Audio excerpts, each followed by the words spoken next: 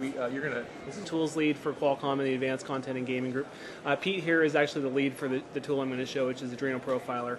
Uh, so, as you mentioned, Adreno Profiler is a PC-based application uh, intended for graphics, performance, and optimization, um, as well as some uh, debugging features as well.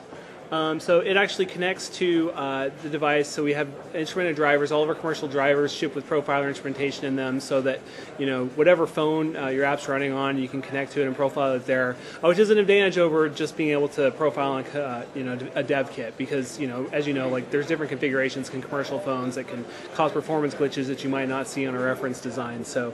Uh, so Dave, sorry. So this works with any Adreno device. So this works with yeah any relatively recent Adreno device. So anything with an Adreno 200 or higher GPU, with a few exceptions, should work. Um, some of the Adreno 130, the previous generation, should work um, in OpenGLES 1.0 mode. But yeah, uh, and that's for for Android and OpenGL based devices. So even though we're a Windows phone, currently that API is not exposed, so that's not available there. But for everything else. This requires some, some part of the so, right. So uh, the question is how uh, Profiler actually connects, uh, collects information from the device. So uh, one of the nice things about this, and one of the things we designed this around, is that we didn't want to have to require modifications to applications. With a lot of the work that we were doing internally, we would receive applications for third parties that we wouldn't necessarily have source code to. Um, so we want to be able to profile them without doing that. Um, and as I said, like we didn't want to have to, you know, be uh, have to load like some kind of special instrument and build or anything like that. So what we've done is our in our standard default OpenGLES driver, we have an instrumentation layer in there. So the profiler is connected, um, and you have it enabled on your application. Then, uh, which in Android is just a matter of setting internet permissions so it can communicate with the with the PC. Um, then uh, once the profiler is connected, it will collect additional information that can communicate back and forth over USB uh, to the PC tool. So.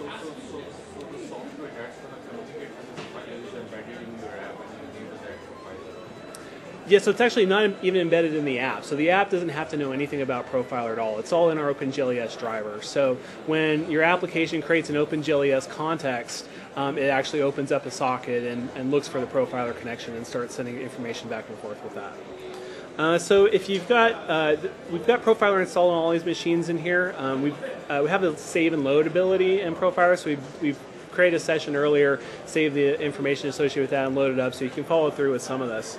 Um, but as you saw, when, when I connect, it will use ADB in the case of Android uh, to look for uh, applications that are currently running that have this connection open, and then you can pick the one you want to connect to. So in this case, I'm connecting to Bunny Maze, which is a game you know you've probably seen us showing around a bit. Um, so I'm connected to that. And then once I'm there, the first thing I probably want to do is create a scrubber. So this, what the scrubber does is allow you to do detailed single frame analysis. So it will go through the complete call trace and give you information about that. So I'll create that window. It's scrubber 2.x because it's an OpenGLES 2 application. By the way, can everybody hear me okay? I don't know if, I know there's a lot of background noise. So, okay, we're good? Great. Um, so I'm connected there. Let me get to an interesting scene in the app. So I'll go ahead and capture a frame. Um, so now what this is doing is uh, it looks for certain frame delimiters. So usually that's like swapping from the front to the back buffer, and it will capture all of the OpenGL ES API calls between those those boundaries. Um, and you can actually configure. Um,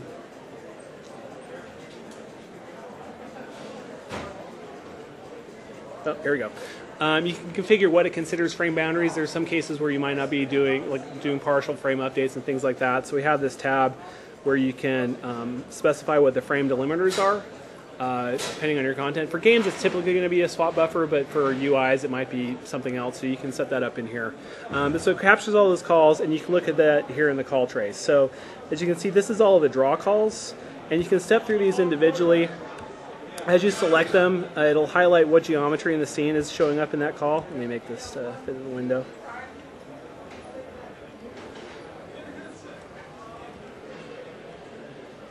Yeah, so as you step through these, you can see the scene come into view and see what's going on there. Um, in association with that, we also list all of the additional OpenGLES API calls. So these are all the non-draw calls that occur between the previous call and the current one. Uh, so you can see that with all the parameters associated with them. Um, one thing we do with the full call trace is we look through there and look for things that are potentially problematic, and we call those out in the comments thing. So uh, in this, like we've identified that there's some calls that backface culling isn't being used, and that's something that often can lead to performance gain. So we, we help you start off with a few uh, useful areas to look at to start doing optimization. Um, but yeah, as I said, you can look at all the API calls. You can see the OpenGLES context at that st- at that point for, uh, for all the various states and, and what those are currently set to. Um, we see these columns for no effect and heavy. So as you as I showed over here with these different calls, so uh, no effect calls are basically like redundant state changes and that kind of thing, where you made this call but it didn't actually do anything. So you could potentially eliminate those from your application. Uh, heavyweight calls are things like loading textures, loading vertex buffer objects, and things like that that you typically want to avoid. Um, you know, especially on an interframe basis. Uh, so we just call those out to make sure that you're aware that those calls are there. Um, Let's go back to this. In addition to all the calls, all the API calls, we also capture all the textures and allow you to view those here. So you can step through all the textures, um, see how big they are, see what format they're in. So these are all RGBA textures. Um, so one of the things that the, the our analysis will reveal in this case is that you're not using compressed textures at all, so we'll recommend that you use them. So you can see from this which textures, uh, like I said, the, the sizes and the formats uh, to get a better picture of that. Um, it actually allows you to uh, interactively re- replace a texture. So if you wanted to like load in some other image to better visualize something, you can do that. If you're using MIP maps, we allow you to override the MIP levels with solid colors, so you can see how effectively you're using MIP maps and, and potentially use a, a lower um, resolution for the base level. Uh, so currently we're see- looking at the color buffer, but you can also see um, the other buffers. So if I switch this, I can see the depth buffer. Uh, I don't think this scene uses stealth, stencil, or alpha, uh, but if it did, you could view those here as well. If you're using frame buffer objects, you can toggle between the display of the current frame buffer object and the back buffer. Um, our Adreno GPU uses uh, binning architecture, um, where uh, uh, it basically uses individual parts of the screen as tiles and does those one at a time. So you can use this to visualize where those tiles might fall on the screen. Uh, you can view the scene in different modes. So this is like the standard fill mode. You can also view it in wireframe.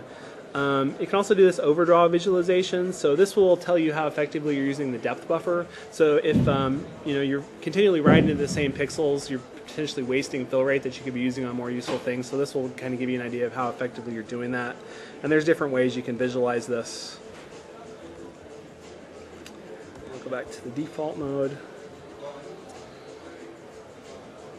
Uh, the other thing I want to call out here, we'll get into some of the metrics uh, in a minute, but so our, our GPU is instrumented with, um, I think, something on the order of several hundred different hardware counters, uh, which are useful on various levels, but we take the most useful ones to developers and present them in a way that's uh, understandable. So some of these can be done on a per frame basis. So if I want to see, for instance, um, how many clocks are used for a given set of draw calls, I can pick that metric, drag it over onto the scene, have to get back into an actual scene, so rather than the menu. So then I recapture the frame. So now it's going to go ahead and capture all those calls again.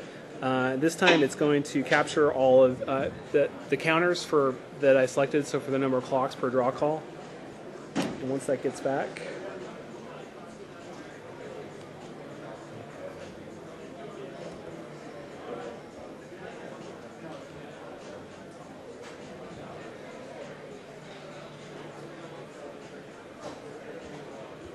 So now it's added this uh, additional column to the draw calls here. So it represents like how expensive that particular call was in terms of clocks. Um, but besides being able to see it just kind of in a, a graph mode there, I can actually select that column and then it'll color code the scene um, based on that particular metric. So from here, I can see that like the, the red portions of it are the most expensive. They use those most GPU clocks to, to process those particular parts of the scene, where the green ones are cheaper. So you can quickly see where your CPU cycles are going, or GPU cycles rather. Um, so then, uh, addition, so this is being able to na- analyze in depth a specific scene, a specific frame within a scene. Um, in addition to that, you can connect to all of those counters that I mentioned in the hardware uh, in real time and view those on a grapher. So, I'll come up here in a second. so now I can look at the grapher metrics. So there's basic ones you'd expect, like frames per second. Um, so if I set that, now I'm monitoring like how fast the application is running. Um, I can look at the percentage time that the GPU is busy. I can look at things like uh, GPU stalls. So this will be the general purpose registers for both the vertex and, and pixel stage. And uh, so as I drag these on here, now this is monitoring this in real time as the app runs. Um, I have a few others here. So number of ALUs per fragment. So I've reached the point now. There's a limited number of registers available to store these counters. So you reach a point where you can't add any more, uh, but you can generally view a large number at once. Um, with all of these, it may not be always immediately obvious what it means, um, or more importantly, like if you see a particular value, whether that's good or bad, and if it's bad, what to do about it. So with all these, we provide tooltips that basically describe what it means, um, and if we have recommendations for the the uh, range of values that you would expect to see in an optimized application, we'll put those there, and whenever possible, we'll make recommendations for what you can do to get that metric to within line with what you want. Um, so this particular mode is most useful in conjunctions with the, uh, in conjunction with the overrides. So what the overrides do is they allow you to, in real time, change pieces, change states within the OpenGL pipeline. Uh, so this allows you to turn various pieces of it off and see what kind of an impact it has on performance. So again, as with the metrics, we provide you know, tooltips on each of these so they can give you an idea of what that means. So disable GL, what this does is basically make all of the pipelined OpenGL calls immediately return. So this effectively acts as if you had an infinitely fast GPU. So if you uh, enable this mode, so now I have an infinitely fast GPU and my frame rate didn't change at all. So what that means is the application is probably frame rate or CPU bound and not GPU bound. Um, but by doing this with uh, various states, we can uh, thereby identify bottlenecks. So some of the other things I can do is um,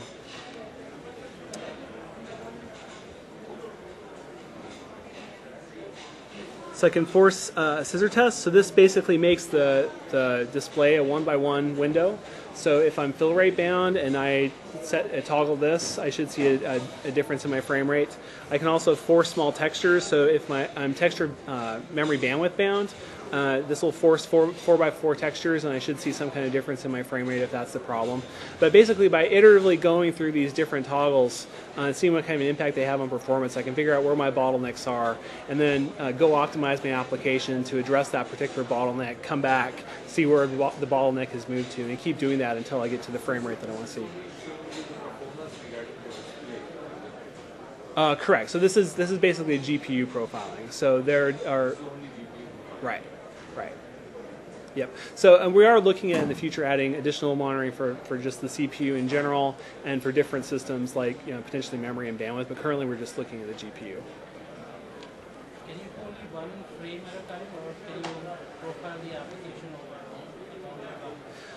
so as far as um, like so currently I'm, I'm monitoring the application as it runs in the, in the grapher so I can see the metrics for that and as I you know toggle the overrides that applies as it's running in real time. If I want to do detailed analysis of a frame I can we can currently only do that for a single frame. We are working however on adding being able to capture an arbitrary range of frames and then play them back and, and do analysis of them.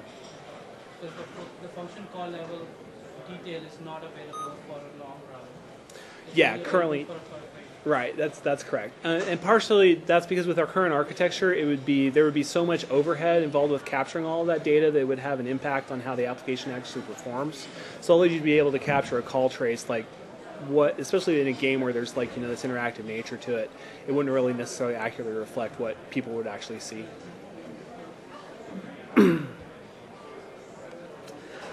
um, so the last thing I wanted to show with this, so I, I already showed how it captures um, all the calls and the textures.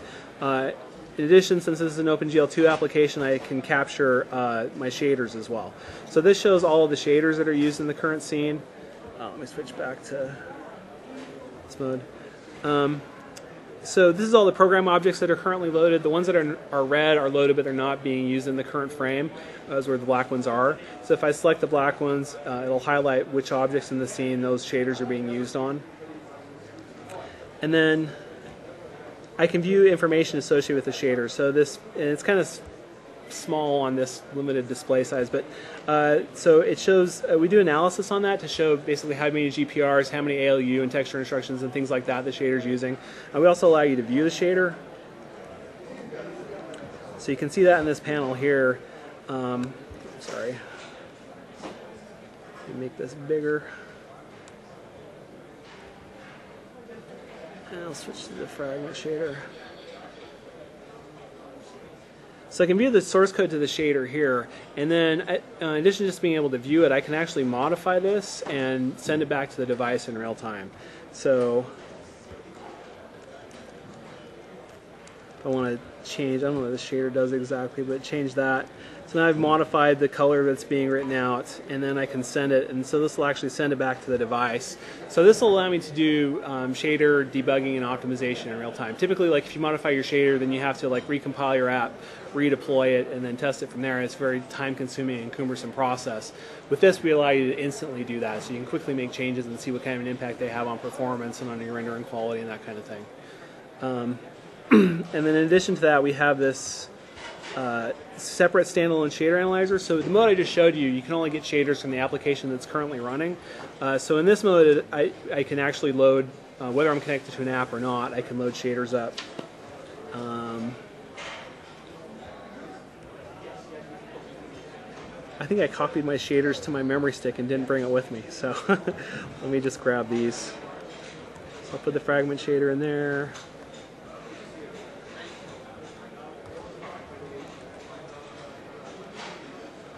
Um, so this allows me to have a more um, easy to use interface for editing shaders, and then I can see as I edit them.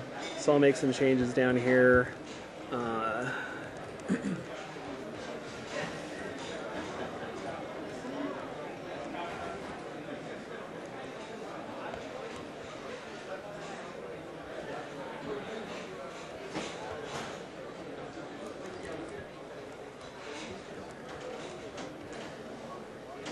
So it's a meaningless change, but now it's it's updated the the analysis of this and shows me like uh, the the cost of the new one versus the old one. So as I go through and I optimize and like potentially reduce the number of instructions, I can see if the changes I'm making are actually having the desired effect and reducing the cost of the shader.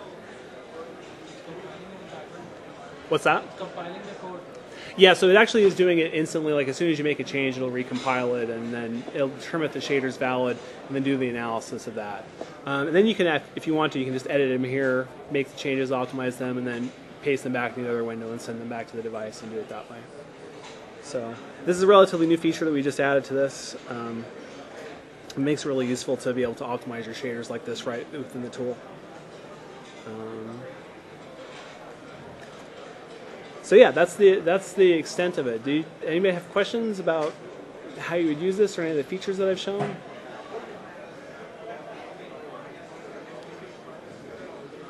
Okay, so Profiler is freely available. It's on our developer website at developer.qualcomm.com or qdevnet. Um, we keep it updated. We do re- releases every month or so, um, depending. Uh, we're constantly adding new things to it. So you know, if it's, if it's something that uh, you're using and there's th- additional things you'd like to see, please contact us and let us know what those are.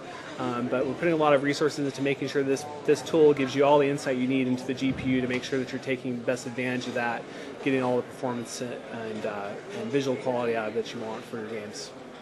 And It should work with any any device that has a uh, newer GPU from Qualcomm. Yeah, so any, um, with a few exceptions, like there's some HTC devices based on the Nexus 1 hierarchy uh, that don't, but other than that, anything Adreno 200, anything that's shipped within the last couple of years will support Adreno profiling. Okay. Okay. Okay. Thank you very much. Um,